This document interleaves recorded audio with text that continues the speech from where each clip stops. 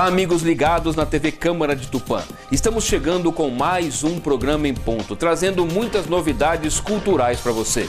O programa em ponto é fruto de um termo de cooperação técnica firmado entre a Câmara Municipal de Tupã, por meio da TV Câmara, e o Grupo Agape de Teatro, com apoio do seu núcleo de audiovisual.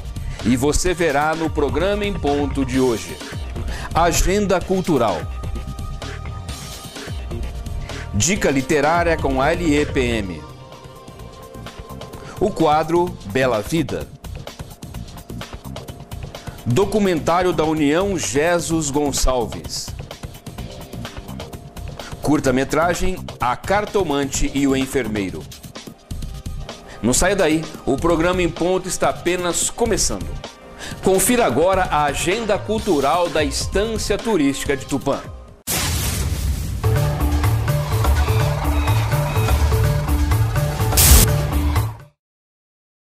Venha fazer parte do grupo Agape de Teatro. Os ensaios acontecem todas as terças-feiras a partir das 18 horas e 30 minutos e aos sábados a partir das 13 horas e 30 minutos. O Grupo Agape está de portas abertas para você e está preparando o espetáculo A Megera Domada para estreia logo no mês de maio. Portanto, procure o Grupo Ágape de Teatro se você tem vontade de fazer teatro, ou seja, vontade de se tornar ator ou atriz. O endereço do Grupo Ágape é a rua Antônio José Lemos, número 45, na Vila Independência. Mais informações pelo telefone 3441 2281 ou pelo telefone celular, que é o 99643 8930. Venha fazer parte da família do Grupo Ágape de Teatro.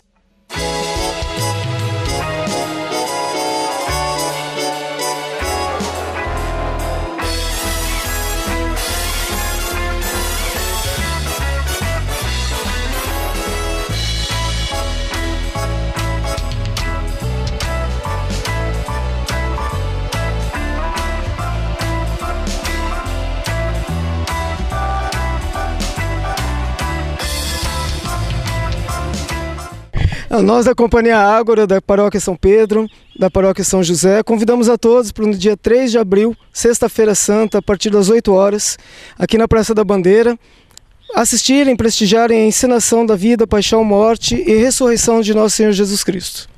Estão todos convidados.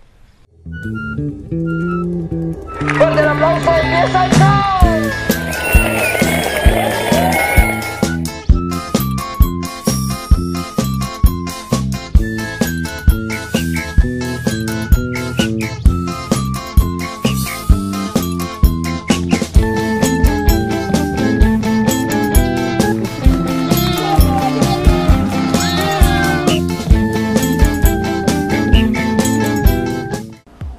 Clube de Astronomia de Tupã está formando neste ano a sua 12ª turma do curso. As aulas são divididas entre teóricas e práticas, tanto na sala de aula da Escola Estadual Índia Vanuiri, quanto com as observações que são feitas no aeroporto de Tupã. Durante o curso, que é totalmente gratuito, são disponibilizados para os alunos telescópios, binóculos, explanações, vídeos, entre outros. O curso é ministrado por Denis Trisoglio e Ivan Marques de Oliveira e acontecerão todas as terças-feiras, às 20 horas e 30 minutos. Os interessados podem comparecer à aula na Escola Estadual Índia Vanuiri, entrada pela Rua Guaianazes. Aprenda sobre as estrelas, constelações, planetas e galáxias. Convida o professor Denis Trisoglio. Confira agora mais uma grande dica literária. A dica literária é parceria entre o Grupo Agape de Teatro e a editora LEPM do Rio Grande do Sul.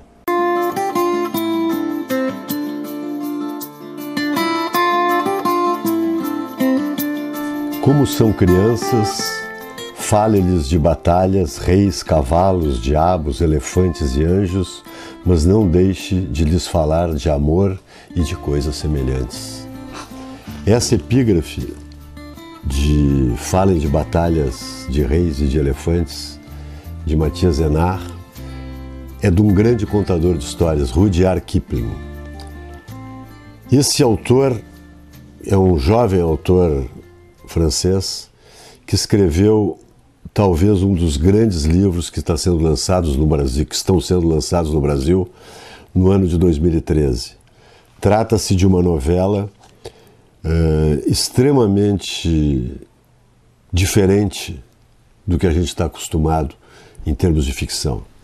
Ele parte de uma, de uma circunstância real que é a ida do, do grande Michelangelo em 1506 para Istambul a convite do, do todo-poderoso sultão para construir uma, porta, uma ponte no Corno de Ouro, perto do estreito, quer dizer, que dá no Estreito de Bósforo, que separa, digamos assim, a Turquia do mundo, do mundo, do mundo ocidental. Esse livro ele faz uma simulação de um período sombrio da biografia do Michelangelo. Pouca coisa se sabe da vida do Michelangelo entre uh, maio de 1506 e julho de 1506, porque nessa época ele tem um problema com o Papa João uh, Júlio II, que é o famoso Papa Guerreiro, que era um Papa poderosíssimo, autoritário, por uma questão de não, não se entenderam em questões de dinheiro. E o Michelangelo ele está em Roma construindo o futuro mausoléu do Papa. E ele simplesmente abandona tudo e recebe o convite do sultão para fazer esse trabalho em Constantinopla, hoje Istambul. Antes de Michelangelo, Leonardo da Vinci já tinha sido, que já era uma celebridade, já tinha sido uh, convidado pelo sultão para fazer o mesmo projeto de, de, dessa grande ponte. Só que o sultão não gostou do trabalho do Leonardo da Vinci, então resolveu buscar outro legendário artista que seria o Michelangelo. Então, o Matias Enar, ele simplesmente ele reconstitui na atmosfera mítica e mística de Istambul do século XIV a estada do Michelangelo. Então é, uma, é um, ele é muito bonito, ele é muito intrigante o livro, porque ele trata das reflexões do grande artista num meio inteiramente o mundo muçulmano, com aquela arquitetura de minaretes, aquele som, aquela aquela comida, aquelas pessoas, aqueles, aqueles hábitos totalmente inusuais para ele, que era um florentino, que seria, digamos assim, o lugar mais, entre aspas, civilizado do mundo, que era que era Roma e Florença, a Itália brilhante do Renascimento, né? De repente, ele está num mundo inteiramente diferente, com hábitos inteiramente diferentes e se envolve com paixões incandescentes, assim, que são desde, desde, desde uma paixão de um poeta que se apaixona pelo Michelangelo, até por uma bailarina belíssima que ele se apaixona, até que em determinado momento acontece um grande drama. E esse drama é protagonizado por essas pessoas que se envolveram com ele passionalmente ou profissionalmente ou simplesmente por amizade.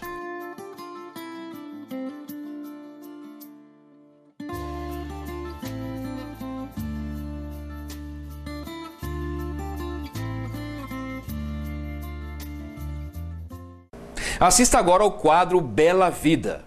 O quadro Bela Vida é uma parceria do Grupo Ágape de Teatro e a TV Mundo Maior.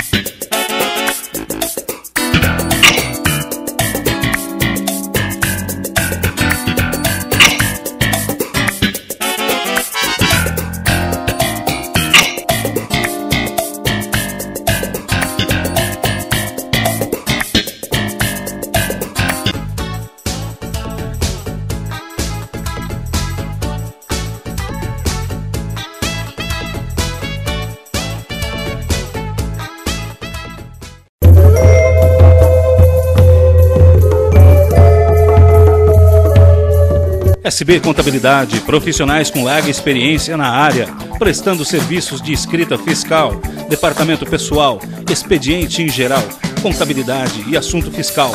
SB Contabilidade, Rua Coroados, número 85. Fone Fax 14 3491 4452. SB Contabilidade, sempre ajudando a contabilizar o futuro de nossos clientes. Tupan Shopping Bazar, tudo em um só lugar. Recargas para celulares de todas as operadoras, plastificações, bijuterias, confecções, acessórios para o lar, camisetas, ferramentas, tudo o que você precisa em um só lugar. Tupan Shopping Bazar, Rua Iporãs, 552, em frente à Rodoviária Velha. Fone 14 3496 4740. Marcenaria Cacique Tupinambá. Fabricação de móveis. Reformas de móveis em geral restauração de móveis antigos, montagem e desmontagem de móveis, assentamento de portas, instalação de divisórias, assentamento de assoalhos, colocação de forros. Orçamento sem compromisso. Marcenaria Cacique Tupinambá. Telefone 014 99772 2123.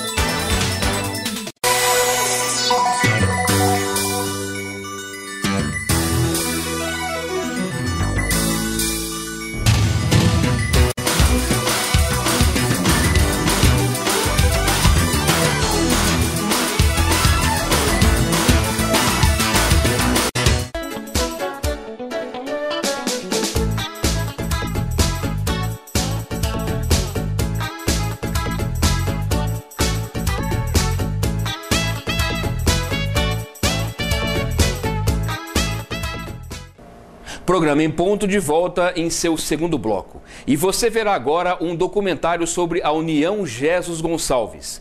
União Jesus Gonçalves, que antes se chamava Juventude Espírita de Tupã e que nos anos 40 fundou o Teatro da Juventude Espírita de Tupã, que hoje é sucedido pelo Grupo Ágape de Teatro.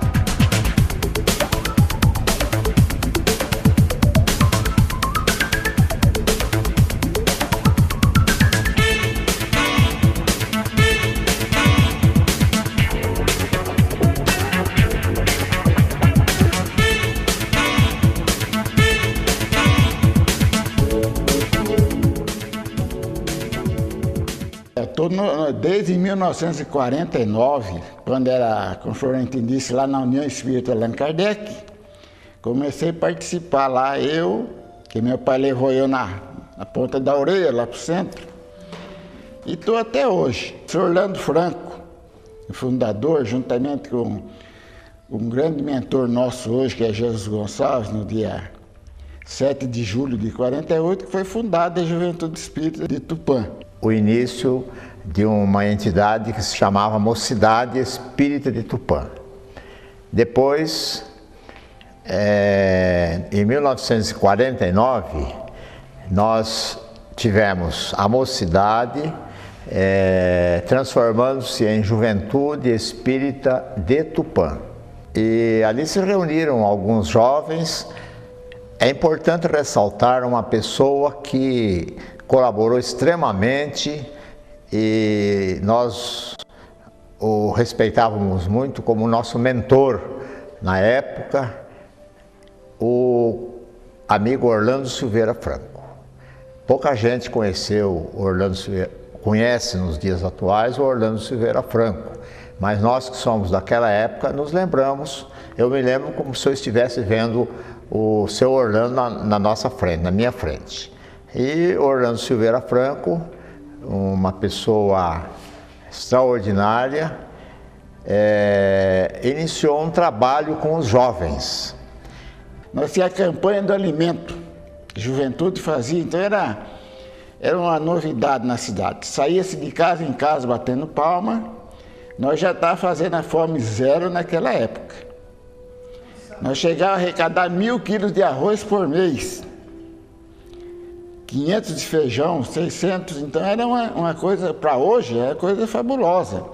Não era um grupo muito grande, né, Florentino? Era um grupo até pequeno, mas tinha essa atividade cujo mentor, senhor Orlando Franco, era incentivador. Ele achava que religião sem, sem trabalho não valia nada.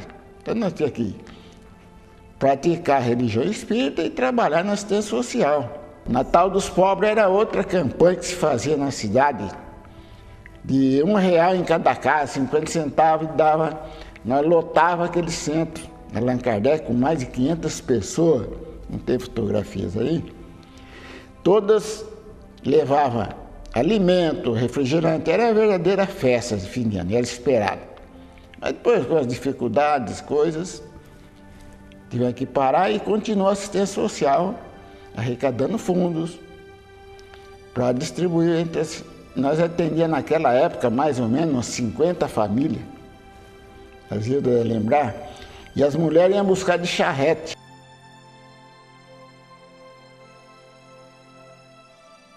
Quem constituiu o grupo de teatro foi a Juventude Espírita de Tupã, na é verdade.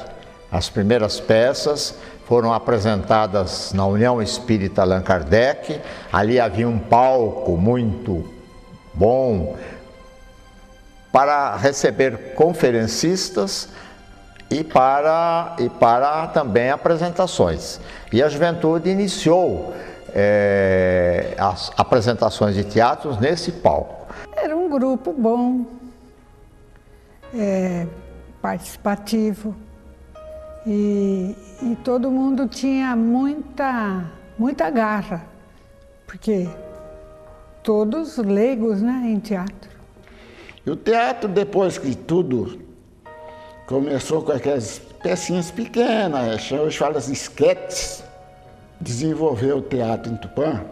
Para gente lembrar algumas peças, né? nós tivemos Solteirona, a grande peça. É, Médico dos Pobres, José Papa. O Monstro, que nós aqui fizemos uma remontagem, também José Papa. Chuvas de verão, nós chegamos no auge. Essa foi a última peça. E o Bertazzoni já fazia parte da, do, do, do nosso teatro, Bertazzoni. Que o senhor Orlando mudou lá para Ribeirão Preto e o Bertazzoni assumiu a direção do teatro. Bertazzoni, que a gestão dele meio atrapalhado, mas era um, um grande diretor. Né? Nós brigávamos muito com ele, mas no fim dava certo. Chuvas de Verão foi o o auge da. As peças eram de cunho religioso, geralmente voltadas né, para os princípios morais, educacionais, né? E depois a própria Juventude Espírito Tupã foi é, implementando isso aí até que se apresentaram outras peças, como as, as Mãos de Eurídice, né, que foi apresentada, e, e mais algumas que tiveram a oportunidade de serem oferecidos ao público. Então, foi uma época em que cada um deu a sua contribuição, a sua colaboração e foi, eu diria assim, é, o pontapé inicial para que realmente é, houvesse o interesse da nossa juventude à época pelas apresentações teatrais.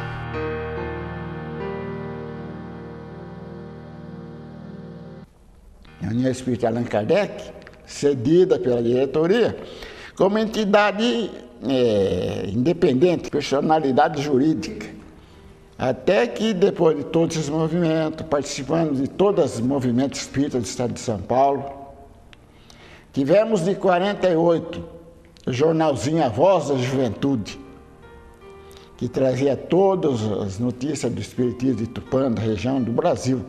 Esse jornalzinho foi muito importante, mas funcionou acho que uns três, quatro anos, mas devido ao custo, parou de publicar o jornalzinho. Tivemos um programa na Rádio Clube, Momento Espírita, que durou bastante tempo. Então, aí foi-se criada a ideia de fundar a sede própria. O senhor Orlando doou esse terreno para nós, Orlando Franco, que é o tio da Daisy Mota, e nós começamos a construir aqui. Primeiro saiu aquela salinha pequenininha, mudamos para cá. E vos prometesse seguir as pegadas de Jesus, fiéis à revelação espírita, conforme a ofereceu o discípulo fiel que foi Allan Kardec. Não há mais tempo para as discussões estéreis, nem para as frivolidades das opiniões personalistas, em detrimento dos lídimos, ideais da fraternidade, do amor e da caridade. Sede vós os lutadores autênticos preparadores da era em que começa, nesta noite histórica, precedendo a alvorada da luz de liberdade e de paz. Eis que vos mando como, ovelhas, como ovelhas mansas ao meio de lobos rapazes, disse Jesus e estáis na terra como ovelhas mansas, porém decididas conscientes da vossa responsabilidade. Não tem mais porque somente lobos tomam nas armadilhas. Continuamos aqui na, na, na sede esse tempo, construímos muito difícil, participando da Feira da Bondade, desde a primeira edição da Feira da Bondade. A primeira edição foi feita para nós comprar a cerca. Cercamos tudo e participamos bastante tempo da feira, ajudou muito. Muita gente ajudou os voluntários que trabalharam até 4, 5 horas da manhã, conseguimos construir esse prédio aqui, até a inauguração, e estamos aqui até hoje com essa o nosso grupo de teatro aqui. Todo mundo conhece, o grupo Agape veio fundado aqui através do, do Luiz Bertazzoni. Ele começou. Mas depois ele ficou doente, foi embora. O Renato assumiu a, a direção e continua até hoje. Nós não deixamos jamais a doutrina, estudo principalmente. Porque a nossa finalidade, né, o Espiritismo é o quê? Educar o homem para que amanhã ele seja melhor do que hoje.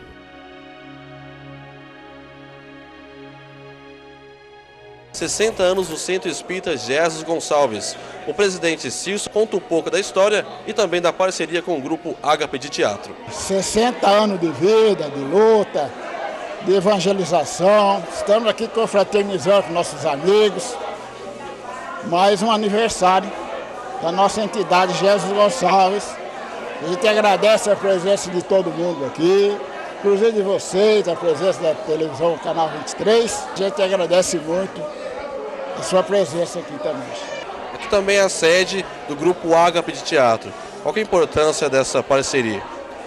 É muito importante que nós, o Grupo Ágape nasceu aqui com nós, está com nós aqui já há algum tempo, mas é um trabalho muito importante o Grupo Ágape, vocês conhecem o Grupo Ágape, né, o trabalho que eles fazem, que o Renato é o meu filho, é o dirigente do grupo, Raul Gonzalez também é um frequentador aqui do Centro Espírita Jesus Gonçalves. Muito, muito orgulho, 60 anos, né?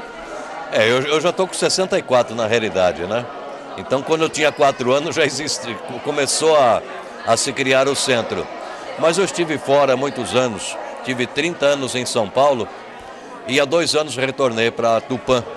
Meus filhos vieram para cá também e eu acabei retornando para Tupã e passei a frequentar o, essa União Espírita Jesus Gonçalves. Florentino, qual que é a importância da Juventude Espírita de Tupã?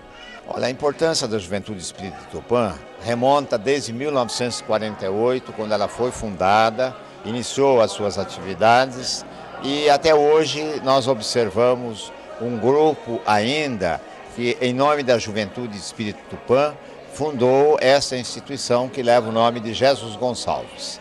É uma casa espírita e, evidentemente, a Juventude Espírita Tupã deu o, o início dessa atividade lá nos idos de 1948.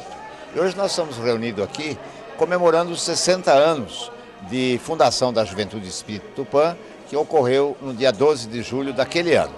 E, obviamente, tudo se moderniza, tudo acaba tendo agregações e a junção da Juventude Espírita Tupã com a União Espírita é, que nos abriga aqui, que é, leva o nome de Jesus Gonçalves, um espírito muito evoluído, um espírito que representa uma, uma certeza da vida após a vida, é, a vida espiritual. E a juventude, então a União Espírita Jesus Gonçalves, caracterizam essa união. É um grupo que se dedica ao estudo da doutrina codificada por Allan Kardec, é um grupo que se destina à assistência social, ao amparo e à proteção daqueles menos favorecidos. É um grupo que marca presença em Tupã, quer seja pela prática do Evangelho, dos ensinamentos de Jesus e principalmente pelas promoções que realizam em favor dos menos favorecidos. Foi muito boa, 60 anos, Asilo Florentino participou. E a festa de 50 anos também foi lá no Allan Kardec.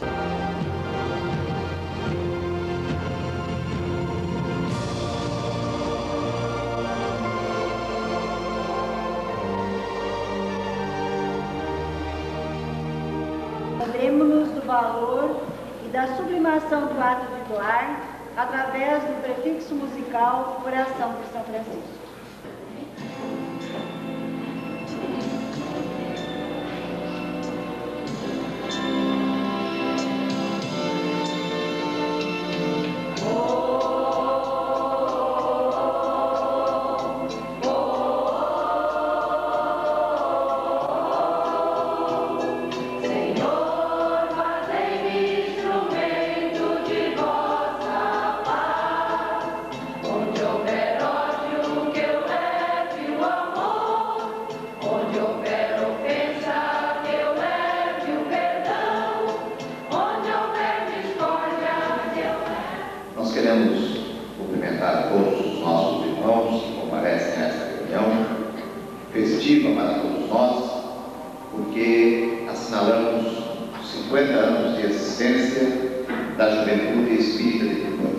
Como o Florentino disse, muita dificuldades, lutas, vitórias, muita briga. Né? Brigas que sempre no bom sentido. E desde que nós mudamos aqui, na, na sede própria, então era a Juventude Espírita de Tupã ainda. Depois fizemos uma Assembleia Geral, todo mundo achou que nós tínhamos que ter um nosso mentor espiritual, Jesus Gonçalves. Jesus Gonçalves era uma pessoa que, de em Moré, perto de Bauru. Ele adquiriu a, a doença de hanseníase hoje, que tempera lepra, e desencarnou num total lamentável lá na colônia Pira, Pirapitingui, pertinho de Jaú, de, de São Paulo. Um ano depois que ele desencarnou, foi fundada a juventude. Reunião senhor Orlando, doutor Urbano de Assis Xavier, Orlando Franco. Doutor Urbano Xavier recebeu o espírito de Jesus Gonçalves e ele nasceu a, a fundação da, da, da, da juventude. A gente deve lembrar o senhor Manuel Rodrigues, foi também um grande incentivador da, da nossa construção. Essas portas, essas coisas, quase tudo foi ele que, que instalou para nós lembrança da juventude, né, desde sua fundação até hoje.